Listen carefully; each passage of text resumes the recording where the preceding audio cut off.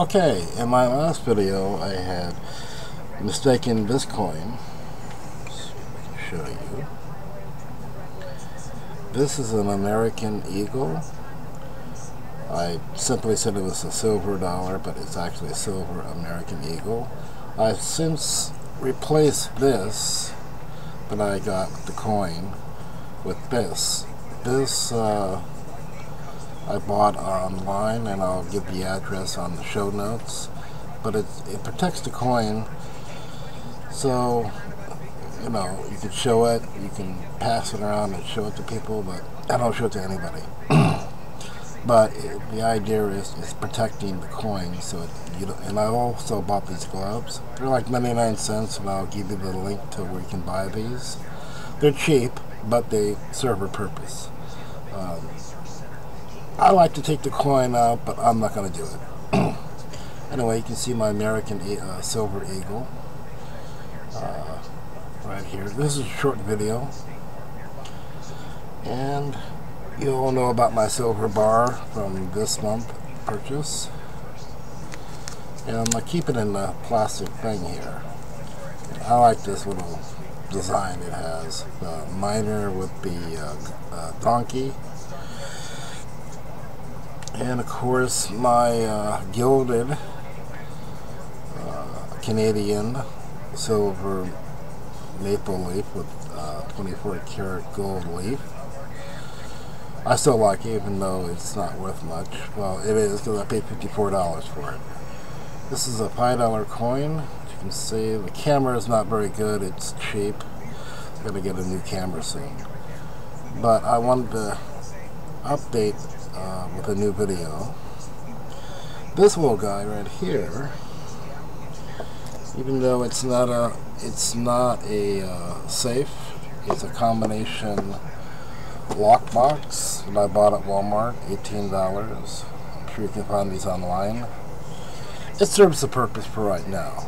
I plan to buy a safe, of course, uh, where I keep my stash of cash and you can put coins in these little compartments here. But here's the other thing. These are what I bought for the other coin because the other coin did not have one of these. The American Silver Eagle did not have one of these. It was in a sleeve. So I bought these online for 99 cents each. They serve a purpose. And um, like I said I'm keeping them in here until I can get a safe Probably not right away because safes are tricky at best because you never know what you're getting. Um, I like Sentry safes, but um, there's a lot of bad and good reviews with those. It's, it's really hard to say. But also, added to my collection of uh, for coins, I also got this. Uh, this was all purchased at the same time the coins were. It's just, I finally got this. I like this little gadget here. Take it out of the box.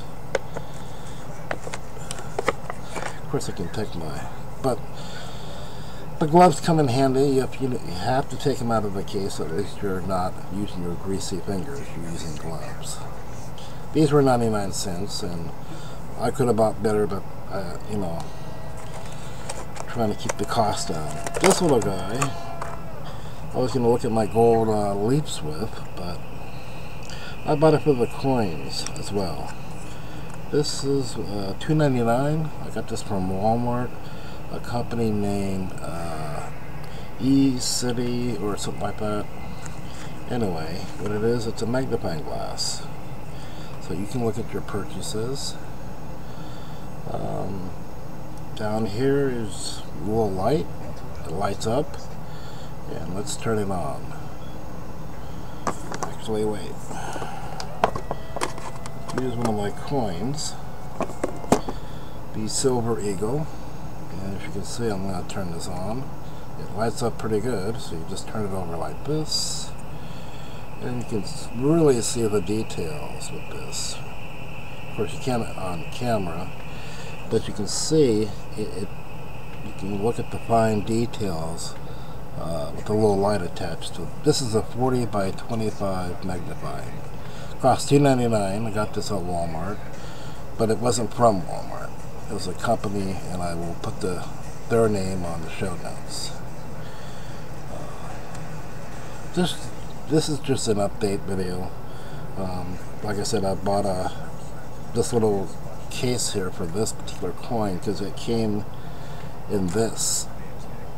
The silver American Eagle came in this.